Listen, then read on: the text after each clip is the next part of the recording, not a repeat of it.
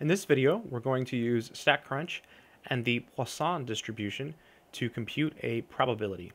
So we're focusing on number six. It says Fishville has been experiencing a mean of seven piranha deaths each year. Find the mean number of deaths per day. So here, we first have to actually do this by hand. We want the mean number of deaths per day.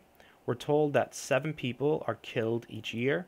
So we take the 7 and we divide it by 365.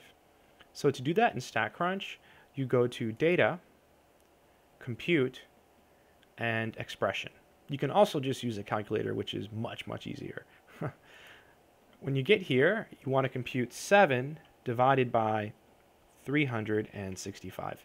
This is going to give us the daily average, right? We take the yearly average of 7 and we divide by 365 to get a daily average.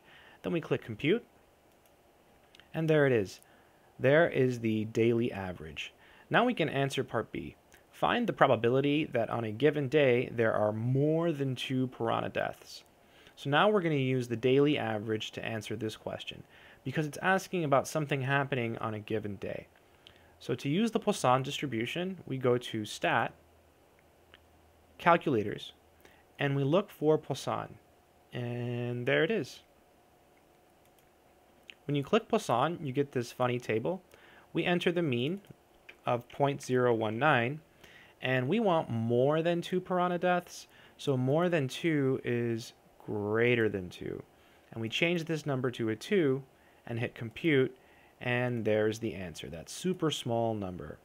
So let me do it one more time. You go to Stat, calculators, and then you go down to Poisson, you type in your daily average, 0.019, it says more than 2, so you change it to greater than, and then you change this to a 2, and you click compute.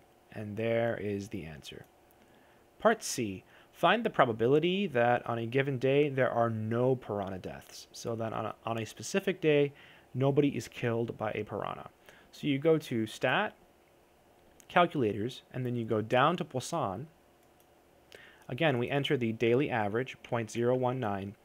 And for nobody to die, that means x has to be equal to 0. So you enter equals and 0, and you click compute, and there it is. So the problem should have said that this is Poisson, uh, but usually when you have like an average over a period of time, like deaths per year or deaths per day, it's a good indication that you're going to have a Poisson problem. I hope this video made sense.